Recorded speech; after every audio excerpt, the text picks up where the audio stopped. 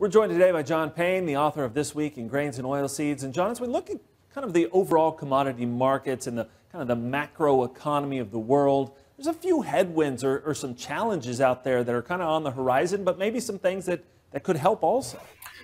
Well, there's always a mystery. So, you know, I know you do a daily show and I do newsletter myself. I mean, the, the, the the sun rises every morning, and really the, the, only bet we can be certain of is that it's going to rise again the next morning, and that's the hope, right? But when you look out in the future here, the uncertainty of the the near term macro scope, really when it comes to commodity producers, and in that sense, you have Russia, which is you know dominates the Black Sea, um, and really the, uh, the, the emerging market world of uh, of wheat purchasing. So I think countries that are poor uh, than others maybe, and uh, whereas we dominate the markets more to developed countries, specifically in Asia. So I think you have um, what happens if, if all of a sudden Russia says, hey, you know, we're getting sanctions because of this invasion.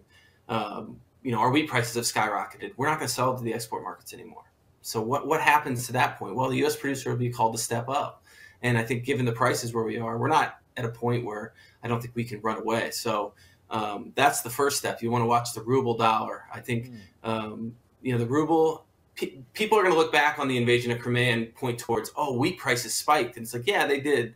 But a lot of that was off the, the, the currency fluctuations that came from the Russian ruble. And if we get that again, the, the question that macro analysts are going to have is the producer in Brazil in uh, Russia going to grow more wheat?